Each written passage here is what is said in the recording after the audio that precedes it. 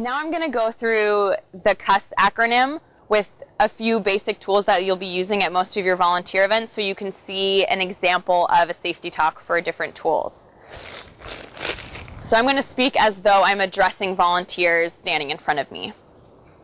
These are loppers, and loppers are used for cutting blackberry canes or larger English ivy vines. One thing we want to think about whenever we're using loppers is the rule of thumb. So anything that we cut with the loppers needs to be smaller than the size of our thumb. And if you are going to be cutting something that is larger than your thumb, then a handsaw is the tool for you. When we're using loppers, we're going to open them up using both hands on the handles and close them, just a really basic method of shutting them. And we're going to make sure that we don't wobble the handles back and forth because that can cause the tool to break. When we're not using the loppers, when we're standing and holding them, we're going to put our outer hand on the lower handle and tuck the tool near our side so that the upper handle is towards our armpit. The point or the blade of the lopper should be facing forward and slightly towards the ground.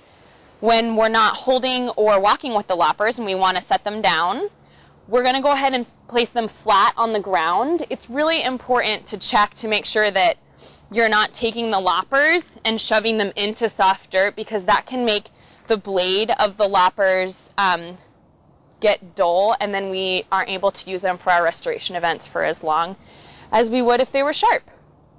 And one thing that I forgot to mention is that um, thinking about the rule of thumb whenever we are using our loppers is we want to only have things that we're intending to cut near the blades of the loppers. So that means that we don't want any fingers or pants or loose clothing near. We only want to be cutting the vegetation that we're intending to cut whenever we use them.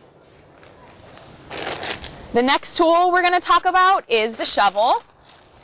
And I'm sure most of you have used a shovel at home. But we're still going to go over how to use it because we have some specific ways that we use the shovel whenever we're at restoration events. So the shovel is for digging and small cutting actions down low by your knees. So whenever we're using a shovel for cutting, we want to place one hand towards the top and one hand on the middle of the shovel handle. And if we need some help sticking the spade in, we're going to use just one foot on the edge. A shovel's not a pogo stick, and if you do try to use one like it, you'll probably just fall right over. And That's not fun for anyone. So we use one foot to push the shovel in. And be sure that whenever you're lifting dirt up, you're not flinging it. You can just set it right next to you. Um, when you're using the shovel in a cutting motion, you're going to want to use both hands close together on the handle and just use little action. So the shovel should only come about six inches off the ground and head straight down. As a safety thought around the shovel, the, the tip of the shovel is sharp and the edges are sharp. And so we want to make sure that at all times, whether we're using the shovel or we're holding the shovel, the base of the shovel should always stay at our knee level or below, and the tip of the shovel should always be pointed towards the ground. So when we are carrying the shovel, whether we're standing or we're walking, we're going to use one or two hands and carry the shovel to our sides. Again, thinking about the tip of that shovel being at our knee level or below. And when we're walking, we're just going to want to hold it out to the side with the tip pointed down. When we're not using or carrying the shovel, the proper way to put it on the ground is tip first and then lay it flat. And we do this because cartoons do mimic real life. If the shovel is flipped over and the tip is pointing up and someone steps on it, it will lean up and smack you in the face.